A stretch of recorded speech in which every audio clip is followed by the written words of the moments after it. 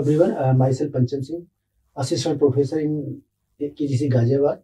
I am going to deliver the topic on cryptographic network security and the subject code is KCS 074 that is SSL and SET.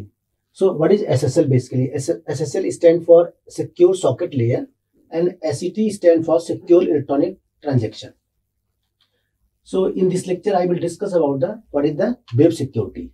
So web security basically uh, it is used for the business, government and individuals. So web now widely used by the business purpose, government purpose and individual purpose. So whatever you are going to transfer the data on business purpose or government purpose, yeah, individual. So we will use the web security or web techniques. So, but uh, internet and web are vulnerable in nature. So if you're going to discuss about the what is the internet, so network about network that is called the internet and web are basically inclined with the internet and uh, whatever you are going to transfer, so everything is transferred by the internet and we are getting the web services. So if you're going to transfer the information, so which type of challenges you will generally face?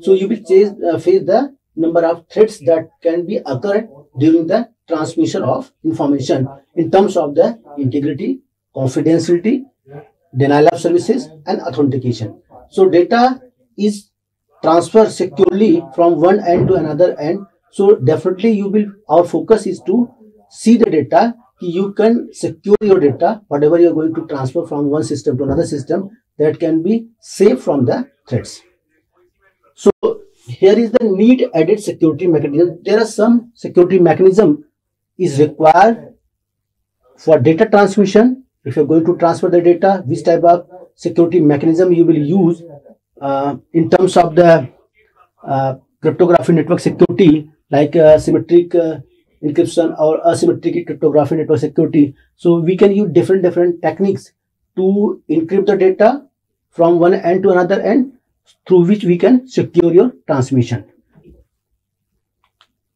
Now what is the SSL basically? So SSL is secure socket layer. So SSL is basically transport layer security services uh, protocol uh, in which we are the it is uh, developed by the Netscape and uh, it is designed for the purpose of public input. Subsequently, it become for the internet that is known as TLS that is transport layer security. So TLS basically stand for the transport layer security. Now SSL is also concerned about the TCP. SSL is used the TCP. TCP stands for uh, transmission control protocol it is a third layer protocol and it is more reliable for end-to-end -end services. So TC, uh, TCP basically reliable for end-to-end -end transmission at the third layer of the protocol. SSL is has two layer of protocols. Basically, it is work on the um, transport layer as well as the network layer. So it is a joint um, joint protocol that can be take the services of transport layer as well as the network layer. So in network layer, it will work as a TCP that is transmission control protocol and in and, and in transport layer, it can use the services of the transport layer. So if you're going to discuss about the SSL architecture, so why SSL is so important nowadays? So SSL is divided into different different layers of protocols. In in first layer, if you're going to discuss about the SSL, so SSL is use the protocol that is handshake protocol. In second, SSL change cipher specific protocol. And third one is SSL alert protocol. And last is HTTP that is hyper transport protocol. So SSL is categorized into four main category. In first category, it is divided into uh, four important protocols that can be used by the first layer in the second layer, SSL record protocol. And third layer, that is TCP, that, that is TCP stand for Transmission Control Protocol. And last one is the Internet Protocol. So, it is a group of the two layers, transport layer and network layer, through which SSL will work. So, TCP is the Transmission Control Protocol, IP is Internet Protocol. This is the third layer protocol. and SSL basically jointly work on the transport layer as well as the network layer. So what are the SSL architecture? So we are going to discuss about two important concept of SSL that is SSL session and SSL connection. So if you are going to establish connection between two uh, person or two uh, two systems in the form of the client server architecture, so our target is to first establish the connection between those two systems. Then you will provide the session by handshaking protocol, by handshaking theorem. Then after you can transfer your information or your data. So SSL session is provided by the, the protocol that is called the handshake protocol. And what is the SSL connection? So SSL connection basically uh, it is used for the connecting the two devices in the form of the transit peer-to-peer -peer communication. So peer-to-peer -peer communication, if, if you're going to connect two systems, so how they are going to transfer the data in the form of the peer-to-peer -peer communication? Communication links are required between two parties between two systems.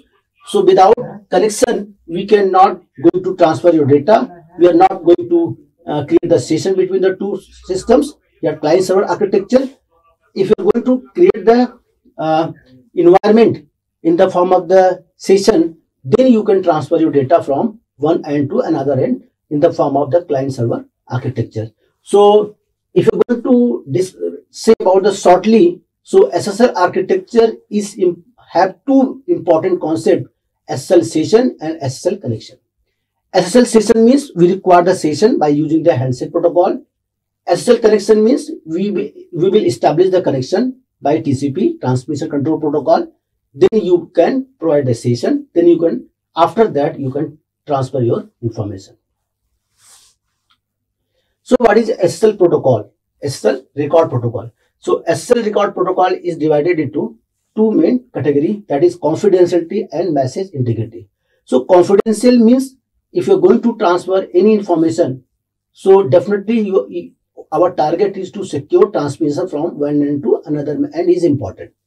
So confidential information must be transferred transfer from one system to another system by using the different different cryptographic techniques. Uh, by using symmetric encryption with a shared secret key defined by the handshake protocol. So handshake protocol is used the symmetric encryption techniques. So in symmetric encryption techniques, you will use the common key between sender and receiver and both are using the common key and they are encrypting and decrypting their information. So confidentiality uh, basically have, using the handshake protocol and handshake protocol have the different different protocols are given here. You can see these are the protocols and message is compressed before encryption. Message is compressed before encryption. So if you're going to uh, encrypt the data, if you're going to encrypt the information, so you will first encrypt the data, then you will, uh, sorry, first you will compress the data, then you will encrypt the information. So encryption is done after the, uh, before the, uh, after the compression. Encryption is done after the compression. So these are the techniques that is used in the confidentiality. Now next technique is the message integrity. So message integrity means using a MAC with shared secret key.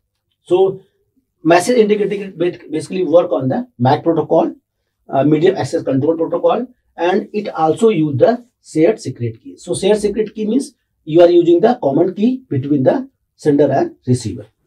Now last one is the similar to HMAC but with different padding. So it is more similar to the HMAC and and different from the padding means we are going to pad the information before transmission. So it is uh, it is MAC जो MAC standard या MAC MAC technique is is little bit different from the HMAC uh, during the transmission of information.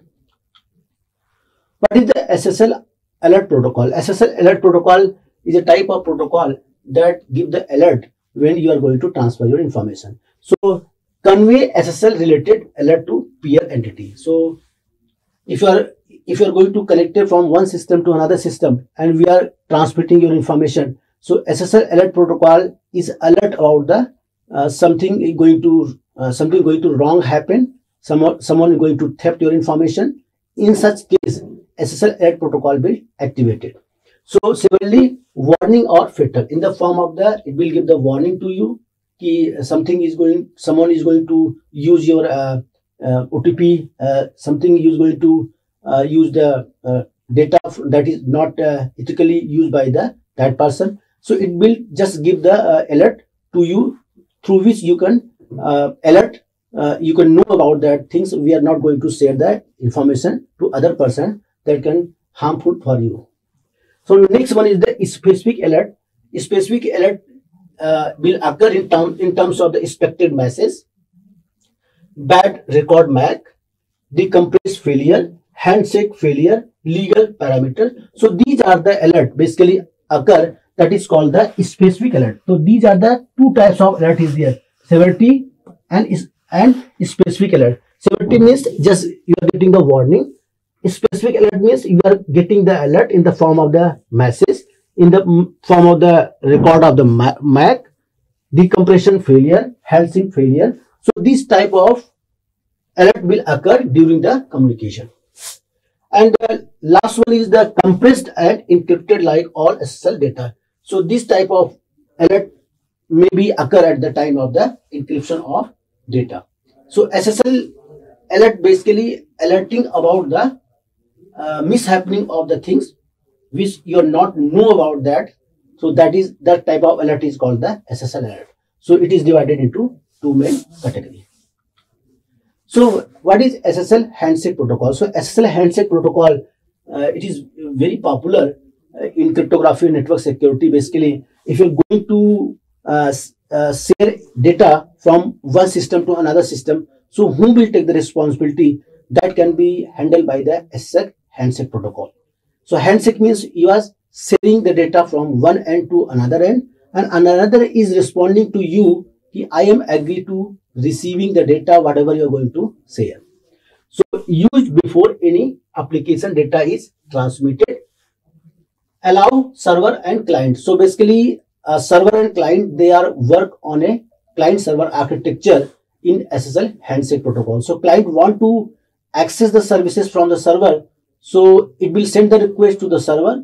Server will revert back to the acknowledge to the client. Now you will get the connection between them. Then you can uh, get the get the information uh, whatever you want to from the server.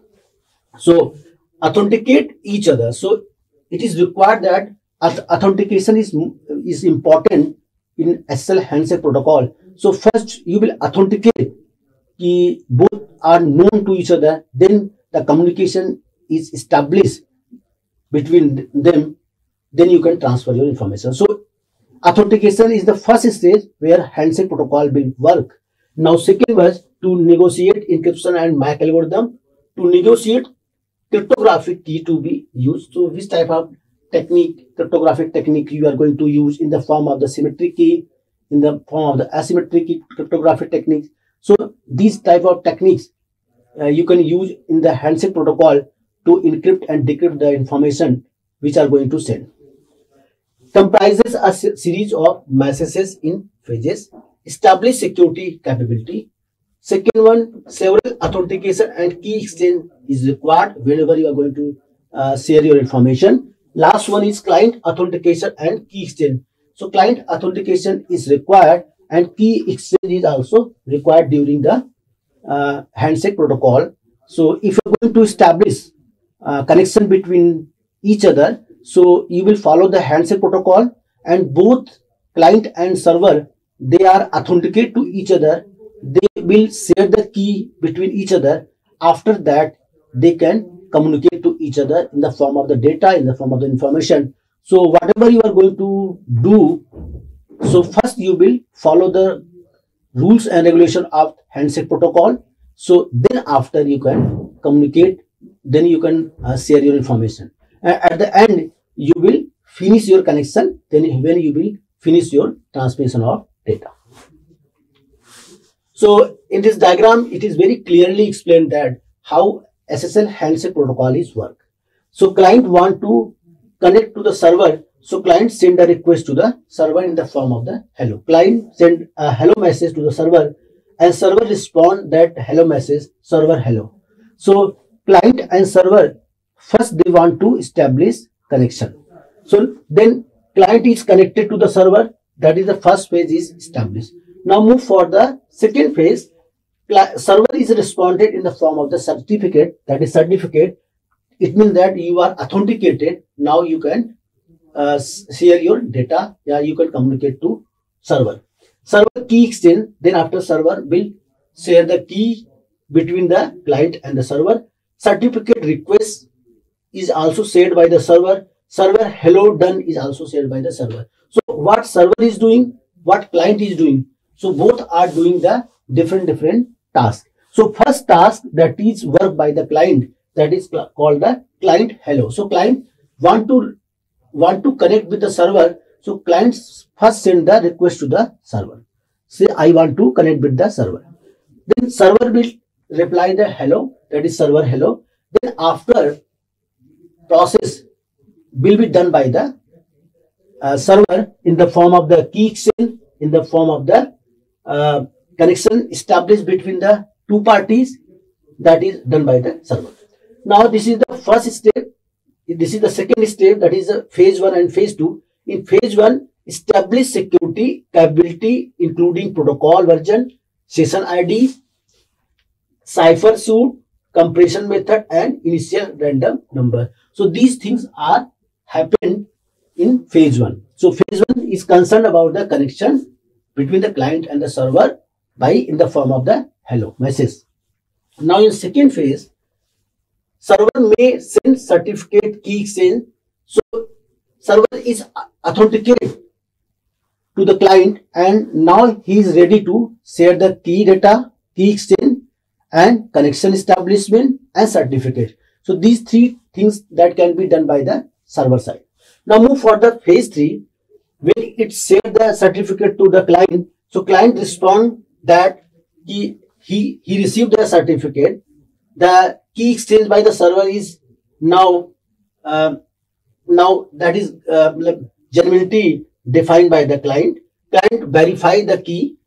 It means that both parties, they are sharing the key exchange between them. Then after that, they are secure, key, they are authenticated and now they are ready to communicate between them. Now next one that is phase 4, change cipher spec, finish, change cipher spec, finish. So in last step that is if the, the things are going to finish, they, then they are going to finish the connection. So if they are going to finish the connection, it means that the things are going to finalize. Everything is done by the client and server, whatever they want to transfer between them. So simply in words, uh, you can say that the phase 1, phase 2, phase 3 and phase 4. So every phase, they are representing how client want to connect with the server, how server is responding in the form of the certificate, in the form of the key exchange, in the form of the request done.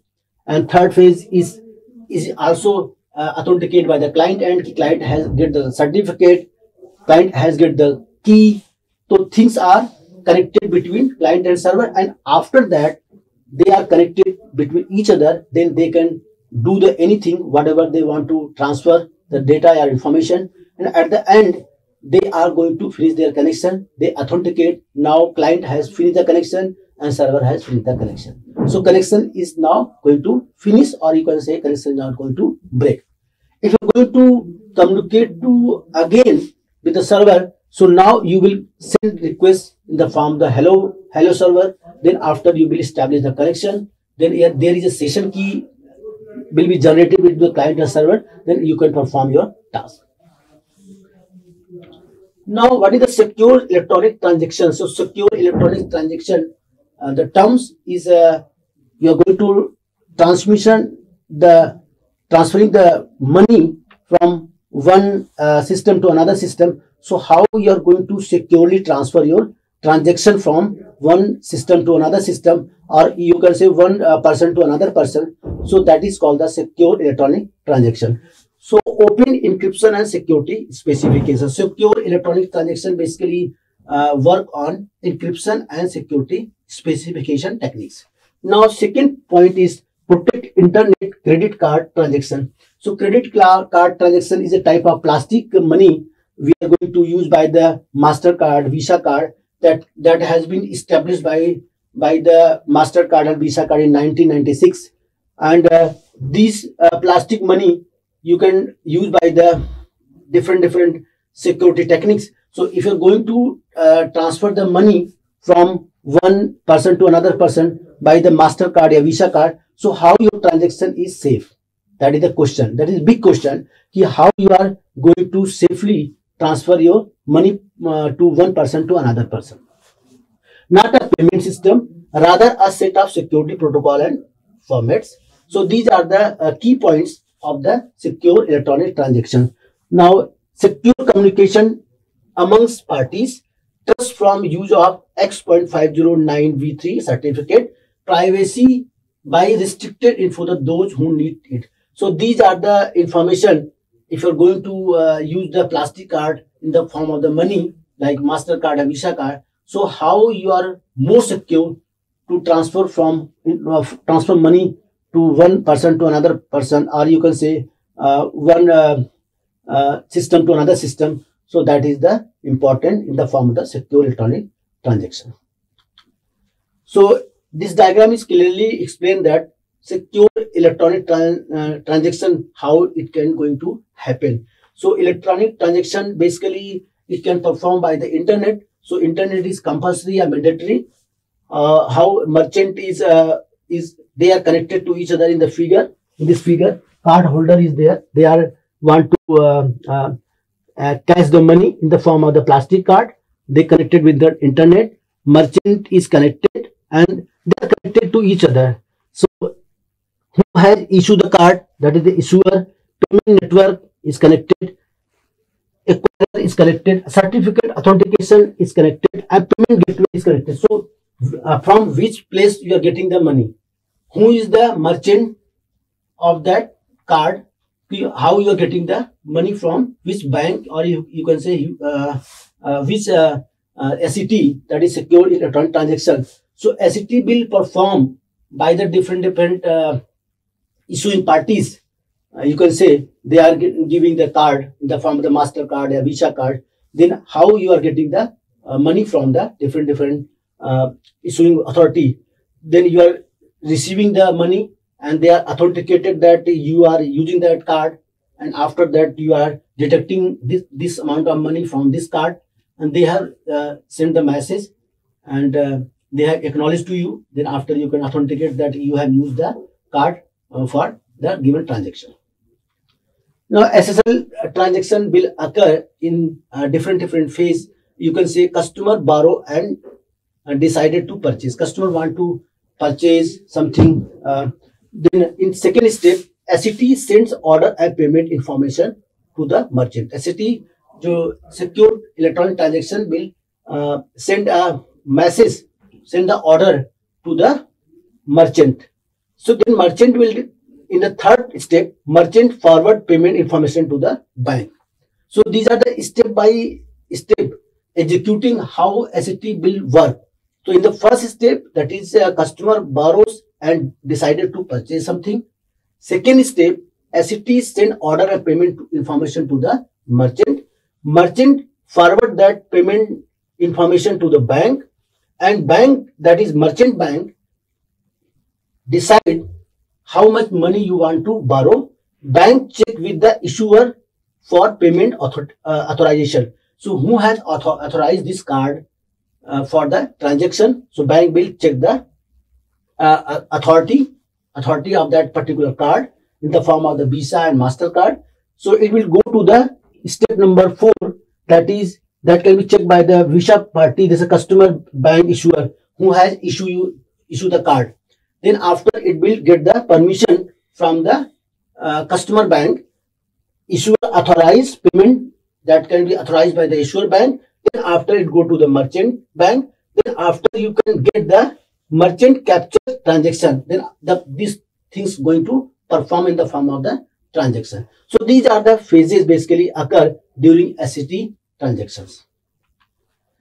So what is the SET transaction? So SET, uh, SET transaction, secure electronic transaction, transaction basically happen in uh, 10 important steps or 10 important points. So step number one, customer open account. So first step is the So if customer want to do the transaction, so first uh, he she will open the account. Now second step, customer receive a certificate. Third step is merchant have their own certificate. And fourth step is customer places an order. So customer want to place the order. So how he can place the order? So he will first follow the upper three points or upper three rules. Then after he will place the order. Now fifth point is merchant is verified the order which you are going to place. And sixth step is order and payment are sent to the bank where you want to get the transaction. So in seven point merchant request payment author authorization authorized merchant confirms order merchant provides goods or services and merchant requests payment done. So these are the steps so through which we can perform the SET transaction by the MasterCard or by the Visa card that is plastic card. So before you are going to do the transaction, so our target is to first follow the these important points. Then these important points will happen one by one. Then after you can do the transaction. So SET is not so simple. So if you're going to do anything in the form of the transaction, so definitely you will follow the these guidelines are these are the important points. Then you can do the transaction. So SET transactions basically using the different different uh, customer open account in the form of the issuer like MasterCard and Visa card. The customer receives uh, X.509 in the form of the certificate and these are the SET transaction in used by the different different uh, issuer uh, card issuer authority in the form of the MasterCard in the Visa card SET transaction, the customer sends the order and payment information to the merchant. That is that is the one point. And second point is the merchant requests payment author, authorization from the payment gateway prior to the shipment. And next one is the, the merchant confirms order. These are the very important points. The merchant confirms order to the customer Next step, the, the merchant provides the goods or services to the customer. What goods and services you want. Okay, you, you can uh, you can do the transactions.